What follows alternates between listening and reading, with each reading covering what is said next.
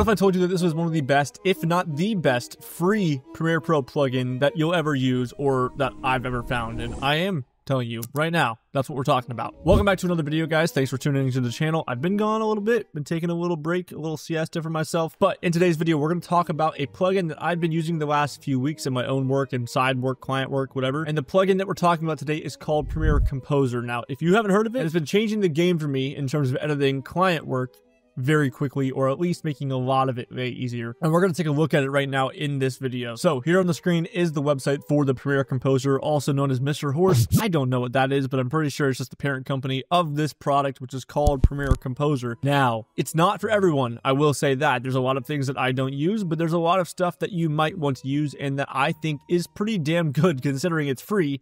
And if you bought the paid version, it's like 10 times better, which I might be buying soon because just frankly, it's good and there's a lot of options to it. So if you don't have it here on the website, press try for free, press download for either Mac or Windows, whatever you're using. Then once you open the application on your computer, you'll get this pop-up asking you if you want to install, you know, whichever one you want. In my case, I'm going to install After Effects and Premiere Pro. So I'm going to go ahead and install all. If you want to just choose Premiere Pro, click Premiere Pro, choose the ones you want to install. After we install it, we can go to Premiere Pro. Now that it's open on the screen here, we can just go to Window, Extensions, and whichever extensions you have, right? Look through it, find Premiere Composer. So I'll click that. And then you'll get a little pop-up that comes up, right? And you can just drag this into the dock. And I'm just to dock it right there next to the rest of the stuff. And uh, it might give you a little tutorial or a little walkthrough of how to, you know, use it and what certain things do. Uh, if you don't want to watch that, just watch this. Here we are, right, in our sequence. We can go ahead and start using the stuff they've given us for free.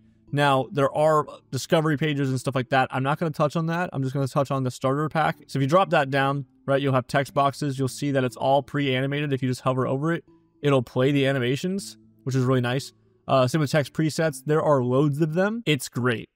Um, I'm not, again, this is not obviously something you see on this channel in regards to like text presets or motion graphics. But if you use them and you've been making them by hand or having to go into After Effects to make them and then come back, this might cut out like 10, 20, 30 minutes of your time just because you can click and drag this onto the sequence, right? I'll just click and drag that. It'll bring the motion graphics template from their library, wherever that might be. And you can change the, you know, the text, change the font, change everything like that. Obviously, Mr. Horse is the company. But if I play this back, just like that, that little animated text graphic is in our uh, sequence. Now, what's better than text and animations like that? I find that the transitions that compared with a transition sound perfectly synced with the actual transition. Now, what does that mean, right?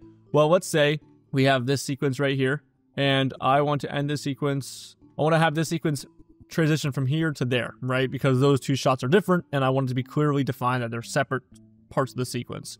Well, I can just drag a transition onto it. Doesn't matter which one, but let's just say, for the sake of this, we'll uh, we'll go zoom out. Click and drag it onto the sequence, and you'll notice that it's got an audio track and two video tracks. And you can see that the cut, if I zoom in, the cut that it's already there is the cut between the first clip and the second clip. So line that cut up with where the transition point would be between the two shots. And if we play this back, you'll notice that not only is there audio that's paired with it, but there's the actual transition that perfectly seamlessly works on top of your on top of your footage. So right here, we'll click and play it back. And just like that, I didn't know work, and it basically looks like I went in After Effects, used some sort of expression, modified it, then went back. It took me a quarter second. And if I don't like it, just undo it.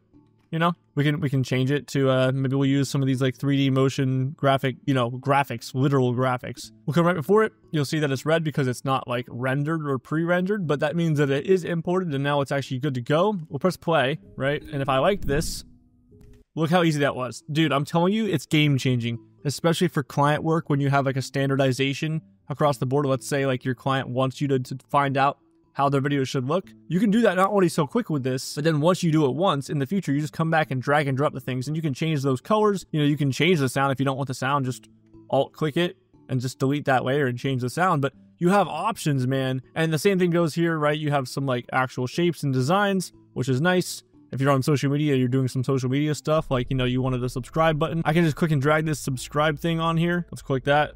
Trentorials, click off of it. Just like that, that simple. It is very, very easy to do all this stuff using just this one software, which is free. And it's hard to wrap your head around the fact that it's free because their paid version has probably so much more. Now, I haven't checked out their paid version and I don't want any of this stuff on this, so I just delete it and it's back to what it was. Simple as that. But again, if you don't have a sound effect library, you've got a good amount of sound effects here, which you might find yourself using like transition sounds or like little, you know, text bloops and, and all this other stuff. There's some good stuff in this thing, and I urge you guys to download it, test it out for free. It's free.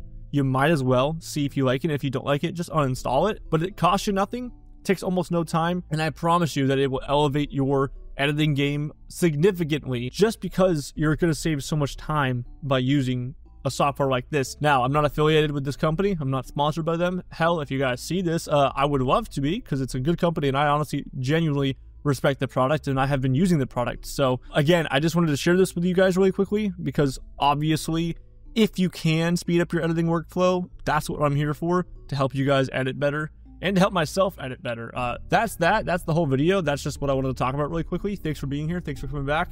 Um, I will see you guys hopefully soon. I have some bigger projects I'm working on in the back of my mind, like writing, scripting, and stuff like that.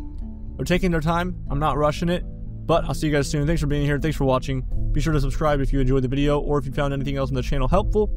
Uh, and I'll see you soon. See you next time. Goodbye. See ya. Adios. I don't know the word I'm going for. Bye.